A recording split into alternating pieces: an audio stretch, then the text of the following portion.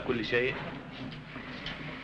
أود أن أعبر عن شكر الجزيل للسيد رئيس الجمهورية اللبنانية والسيد وزير الدفاع اللبناني على إتاحة الفرصة لي لزيارة لبنان الحبيب.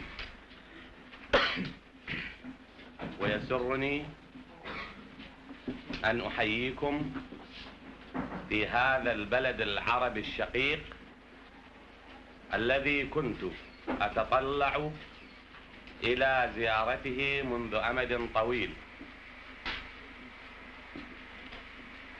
فلبنان الحبيب يحظى بأسمى آيات التقدير والاعتزاز لدى أبناء شعبنا في العراق وحكومته الوطنية.